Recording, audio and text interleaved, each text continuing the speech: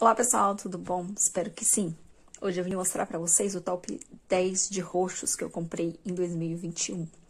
É, eu fiz o top 15 azuis, mas eu não tinha, tipo, 15 roxos assim, pá, que eu comprei em 2021.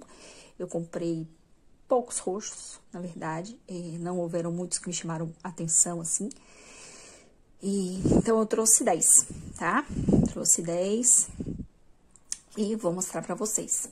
Esse halo aqui, vocês estão vendo? É a tampinha desse esmalte aqui, que tá refletindo o sol de tão linda que ela é, olha como que fica, tá? Mas eu vou deixar ela aí, vocês vão me aguentando.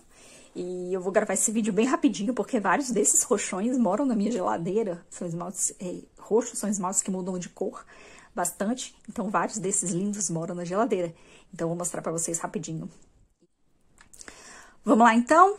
É, eu tenho quatro artesanais. Esse ano, as artesanais, tipo, uau! Tenho dois importados e tenho esses quatro aqui. Nenhum dos roxos que eu vou mostrar pra vocês, eu fiz resenha. Eu acho que eu não fiz resenha de nenhum roxo esse ano não me lembro nas coleções de ter vindo nenhum roxo. Não foi uma coleção, um, uma, cor muito lançada. Apesar de eu ter bastante, são esmaltes antigos. Eu tenho muito roxo, eu gosto muito de roxo, mas são esmaltes mais antigos. E tiveram outros artesanais também que eu comprei esse ano, mas eu não queria ficar trazendo só artesanal para vocês, né? Então, é, pincelei assim uns que eu achei que não podia faltar e vou mostrar para vocês então. Vou começar por esses aqui.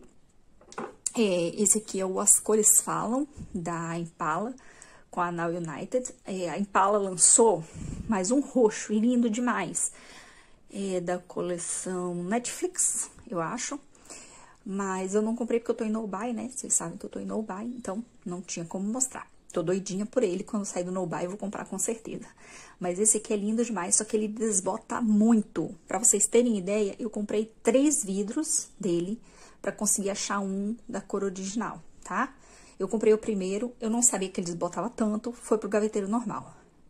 Aí comprei o segundo, já botei na geladeira. Mas quando eu vi a cor original, eu percebi que o meu já estava um pouco desbotado na farmácia.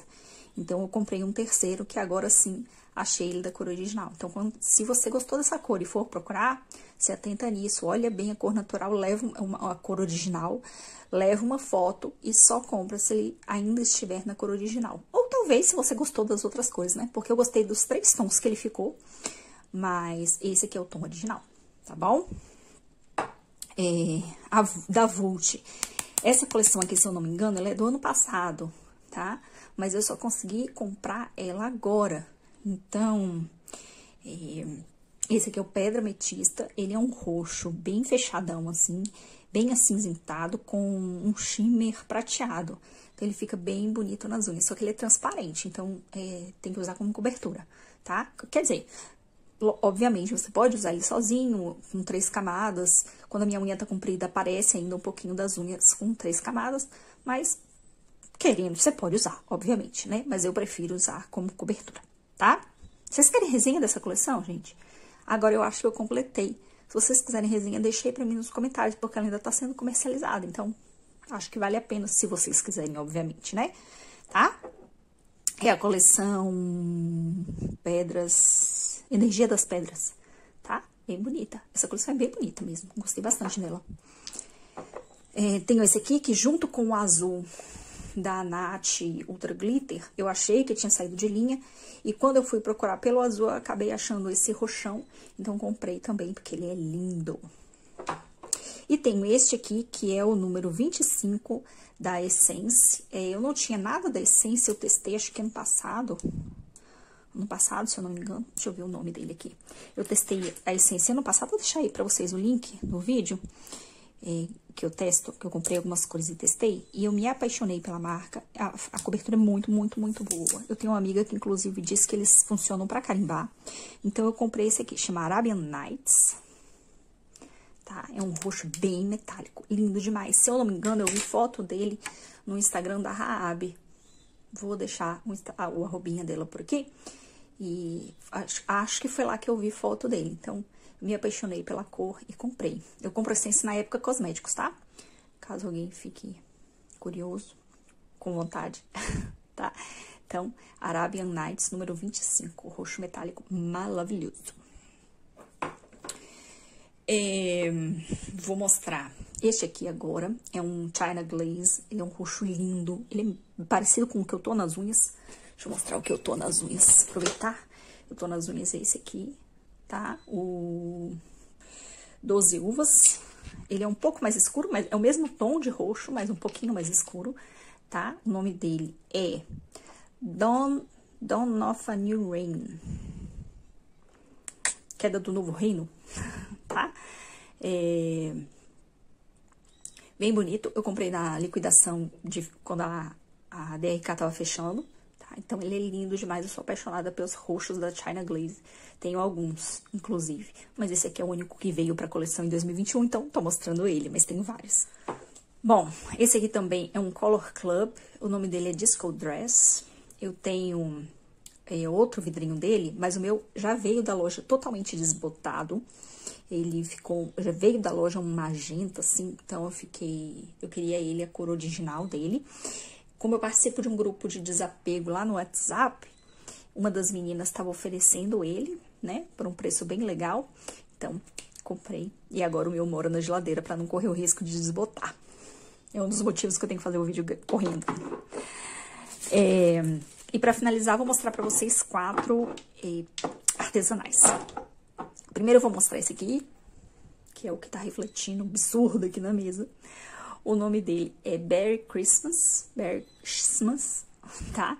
Ele é da Dani Viana, foi da coleção de 2019, de Natal de 2019, mas eu só consegui comprar esse ano, tá? Então, ele é muito lindo, ele é um roxo bem é, fechado, um pouquinho mais rosado, e muito holográfico, tá? Então, ele é muito, muito, muito, muito, muito bonito. Um dos roxos mais bonitos que eu tenho na minha coleção, sem sombra de dúvida, tá? Aliás, a Dani faz roxos fenomenais. Tem um que chama Magic, Magic Carpet, eu já resenhei aqui, já mostrei aqui no vídeo de top 10 da Dani, que é incrível, sou apaixonada. E tem outro que se chama Jafar, que também é divino, tá? Então, Merry Christmas. Também tem esse aqui que se chama Sunny, que é da Watcha. A Watcha lançou um quinteto de roxos com finalizações diferentes. Tem holográfico, tem topper, tá? Todos eles são lindíssimos. Eu escolhi um para mostrar para vocês. Na verdade, eu comprei três. Vou mostrar no vídeo de comprinha da Watch, porque eles vieram todos juntos. E o meu escolhido para mostrar para vocês, então, foi o Sunny. Era desse quinteto que chamava Unicorn. Tá? Ele é um roxo bem fechado, bem, bem, bem fechado e tem floquinhos holográficos. Lindo demais. Ó, que shimmer dourado lindo que ele tem. Não. Também da Watcha, mas dessa vez na linha Holo Lovers, porque a Watcha tem uma linha à parte que só faz esmaltes holográficos, então da linha Holo Lovers.